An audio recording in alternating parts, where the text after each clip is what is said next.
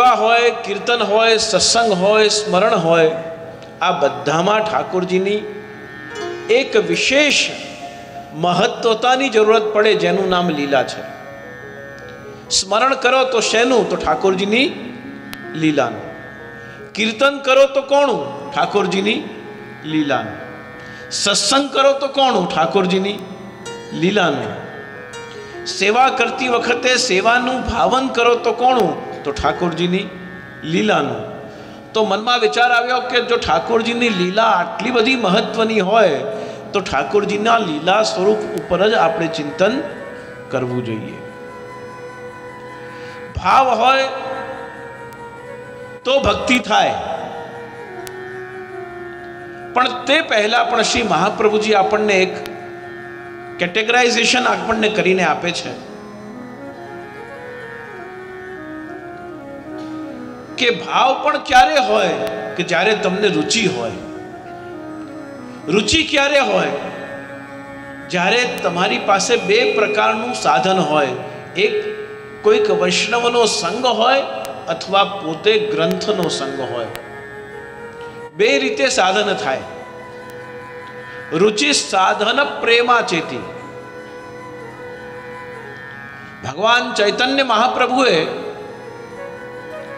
સાધન ભાવ પ્રેમાચેતી એટલે સાધન પહેલાં હોવો જોઈએ. પછી ભાવ પ્રગટ થાય અને પછી ભગવાનમાં પ્રેમ થાય, પ્રીતિ થાય એવું કહ્યું. શ્રી મહાપ્રભુજી કહ્યું કે મને થોડોક આમાં ફેરફાર કરવા દો. શ્રી મહાપ્રભુ વલ્લભાચાર્ય કહ્યું, રુચિ સાધન પ્રેમાચેતી. એટલે કે પહેલા રુચિ થવી જોઈએ.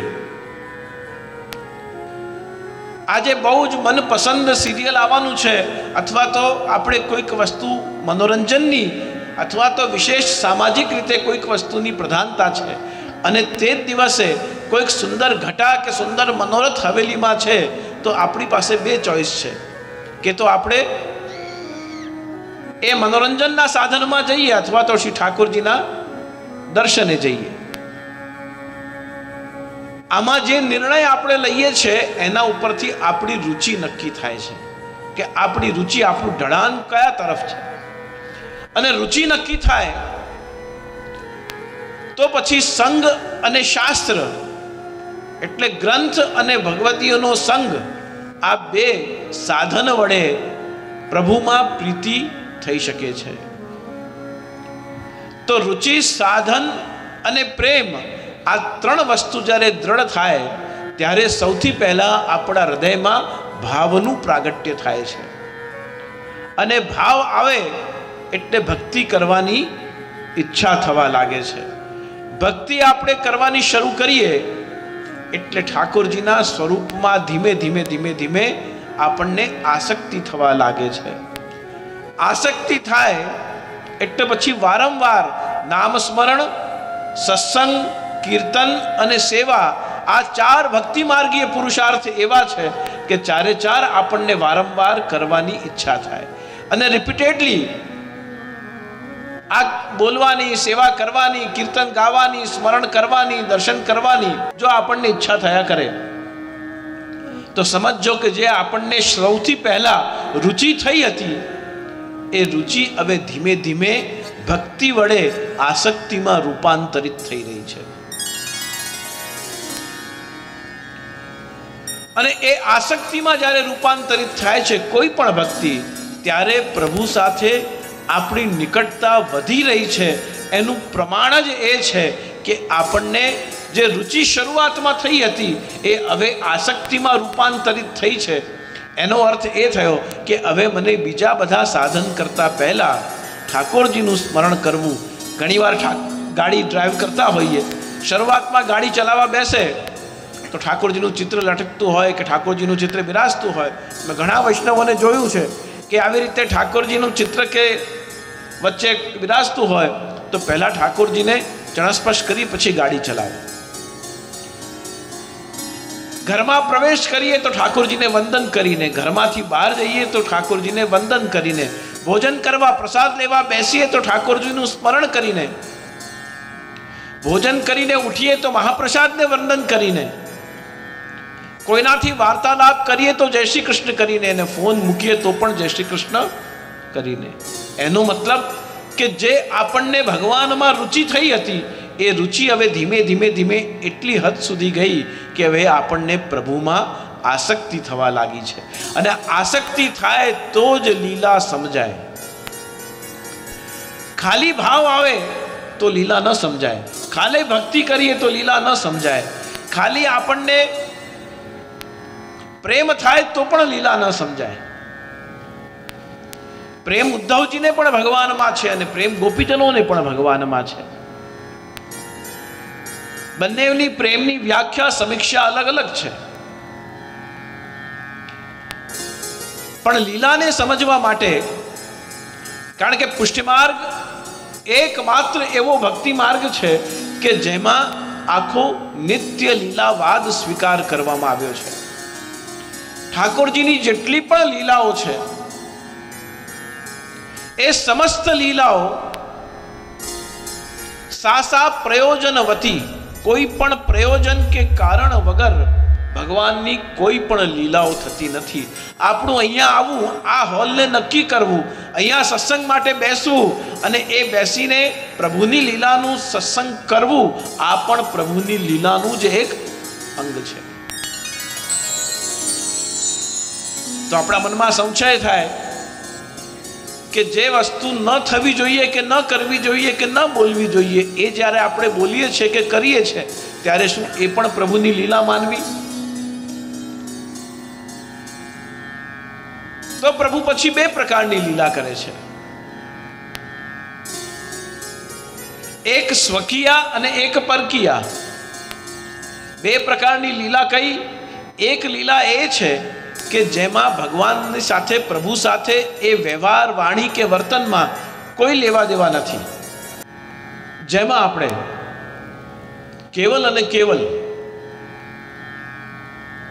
સ્વ માટે કે સ્વજનો માટે જે પ્રયત્ન કરતા હોઈએ કે જે પુરુષાર્થ કરતા હોઈએ, જેમાં પ્રભુના સેવાનું કે પ્રભુના સુખનું કોઈ નિમિત્ત નથી ગોપીજનોની જેમ જેટલા પણ કર્મ છે, એ બધા જ કર્મ ભગવાન માટે હોય, તો આપણા પ્રત્યેક કર્મ પણ લીલા છે.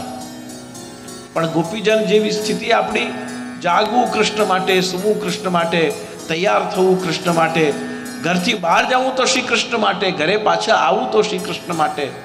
અત્ર તત્ર સર્વત્ર આપણને જ્યારે કૃષ્ણાનુભૂતિ થાય, અને એ કૃષ્ણાનુભૂતિ જ્યારે થાય ત્યારે સર્વત્ર કૃષ્ણાનુભૂતિ થવાના કારણે એ લીલાનું અંગ આપણે બની શકીએ. પણ જ્યાં સુધી સ્વકીયા એટલે કે પોતાના માટેનું, સ્વકીયા પરકીયા રાસમાં અલગ છે. અને લૌકિકમાં સ્વકીયા એટલે કે જેમાં હું કેન્દ્રમાં છું, મારો સ્વભાવ, મારું પરિવાર, મારું વ્યવસાય, મારું શરીર, આ બધું જ્યાં કેન્દ્રમાં છે. એ બધું કેન્દ્રમાં હોવાના કારણે પણ આ શરીર, મારું સ્વભાવ, મારું વાણી, મારું વર્તન બધું જ શ્રી કૃષ્ણ માટે છે.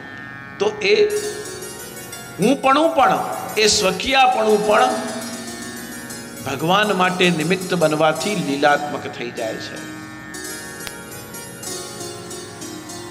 બધું જાણવા છતાં સ્વભાવ આને આવે, તો એ સ્વકીયા છે. વૃંદાવન ક્યાં છે એનું સ્વરૂપ શું છે? ગોકુલ ક્યાં છે એનું સ્વરૂપ ક્યું, શું છે? અયોધ્યા ક્યાં છે? ત્યાં પ્રભુ કેવી રીતે પ્રગટ્યા? મથરા ક્યાં છે? મથરામાં શું શું લીલા થઈ? કેટલી કથાઓમાં, સત્સંગોમાં આપણે સાંભળ્યું. પણ એ સમસ્ત કથાઓમાં, પ્રસંગોમાં સાંભળવા પછી પણ આપણને પ્રભુમાં ભાવ ન પ્રગટે. તો એ સાંભળવા પછી પણ ભાવ નથી પ્રગટ્યું. એના મતલબ ક્યાં ને ક્યાંક આપણો સ્વભાવ અને આપણો વિચાર આપણને દ્રઢ થવા દેતું નથી. તો અષ્ટસખાઓમાં અને ચોરાસી વૈષ્ણવની વાર્તામાં, બસો બાવન વૈષ્ણવોની વાર્તામાં કેમ શ્રી મહાપ્રભુજી કેવી સુંદર આજ્ઞા કરે? સંસાર અસત્ય છે, આ બધું માયાથી ઓતપ્રોત થયેલું છે અહીંયા કોઈ કોઈનું નથી રહે કોઈ કોઈનું નથી રહે આવી રીતે જ્યારે આપણે તો શ્રી મહાપ્રભુજી કહ્યું કે એ સબ બંધ કર સૂર વહ કે કહા કે જ્ઞાત હૈ કછું ભગવદ લીલા કા સંસારને અસત્ય માનવો અને બધાને દોષી સમજવા અને આ સંસારમાં કોઈ સાર નથી શ્રી મહાપ્રભુજી કહે છે ये सब करना आवश्यक नहीं है આ તો બધું બધાને ખબર જ છે તું કછું ભગવદ લીલા ગા અને તું કછું ભગવદ લીલા ગા જ્યારે કહે છે, ત્યારે સુખદાસજીના હૃદયમાં ભાવ પ્રગટ પ્રાગટ્ય થાય છે.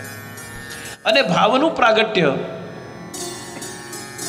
એમાં બે વસ્તુ બહુ જ જેવી રીતે રુચિ થવામાં આપણા ઘરનું વાતાવરણ અને સંગ નિમિત્ત બને. રુચિ થાય તો સાધન એટલે શાસ્ત્ર અને સંગ.